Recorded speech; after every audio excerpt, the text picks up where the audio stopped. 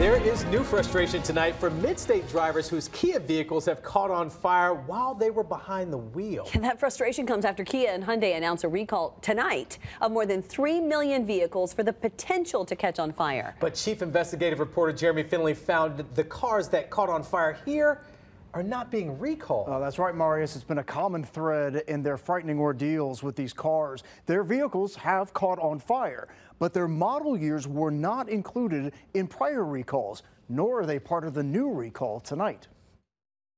The car is caught on fire. Oh my God. We've shown you the video and the photos of Kia Souls and Sorentos catching on fire on mid-state roads and told you the harrowing stories of how drivers were behind the wheel each time. It was just a big pile of smoke and just, you know, exploding and 25 foot flames up in the air. They're hard to look at, just how close my kids were to getting hurt. The vehicles catching on fire in or around Nashville, the 2016 to 2019 Sorentos, and 2015 to 2016 Kia Souls. But the recall announced today of more than 3.3 million Kia and Hyundai vehicles in which an engine compartment fire while parked or driving can increase the risk of injury does not include the model years of the vehicles that caught fire here.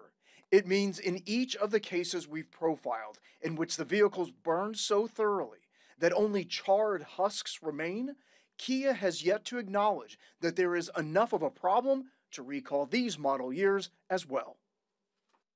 So, Jeremy, what's the explanation for why all these model years aren't included? We've already seen that the ones here have caught on fire. Yeah, here's what we know, Marius. Every car has a production run, right? And even though it's the same model, the same parts aren't always used from year to year.